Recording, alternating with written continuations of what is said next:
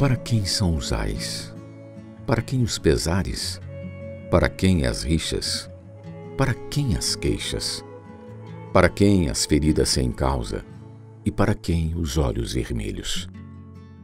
Para os que se demoram em beber vinho? Para os que andam buscando bebida misturada? Provérbios 23, 29 e 30. Alcoolismo. O texto de hoje trata dos problemas causados pela bebida. Os dependentes de bebida alcoólica convivem com os ais, com os pesares, com as rixas, queixas, com as feridas sem causa e estão sempre de olhos vermelhos. Eles sequer podem olhar para a garrafa, pois não resistirão ao seu brilho no copo e logo a bebida estará escoando para dentro do seu corpo. E ao cabo, o que ingeriram os morderá como cobra e picará como basilisco.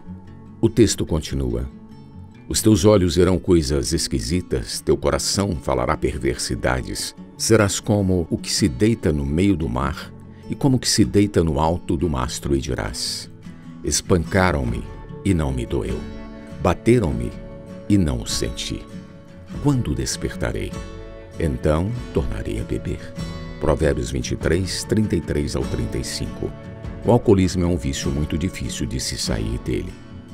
Portanto, devemos fazer de tudo para não cair nele e ajudar outros a não entrar nessa armadilha. Em lugar de nos embriagarmos com vinho, podemos nos encher do Espírito. Efésios 5,18. Porque o reino de Deus não é comida nem bebida, mas justiça e paz e alegria no Espírito Santo. Romanos 14, 17.